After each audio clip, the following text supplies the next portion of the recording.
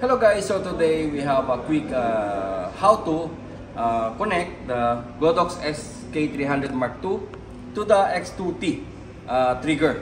Actually, uh, we face a problem that is not connecting the X2T to uh, SK300 Mark II. At today's vlog, I'm gonna show you how to connect uh, quick and easy the X2T trigger to the SK300.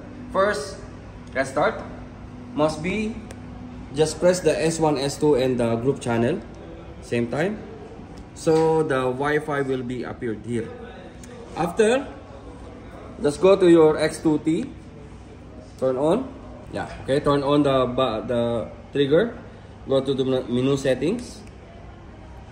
After in the menu settings, you can go, you can find LCD scan. Yeah, you uh, just go to the scan uh, press set then start. Then set then it will uh, detect the it will scan the SK300 straight after uh, 100%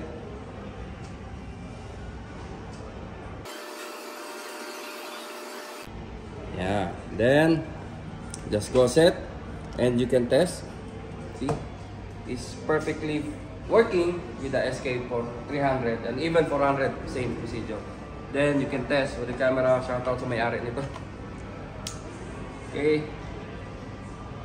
Let's make a test and it's working perfect for the SK 300 Mark. II so again guys uh, if you have any question regarding SK 300 and 400 you can comment down below guys. Uh, if you want to check the Godox lineup that available here in the AV World, you can visit our website www.avworld.com. All the Godox products is already in our website. So hanggang dito lang. Thank you and mabuhay.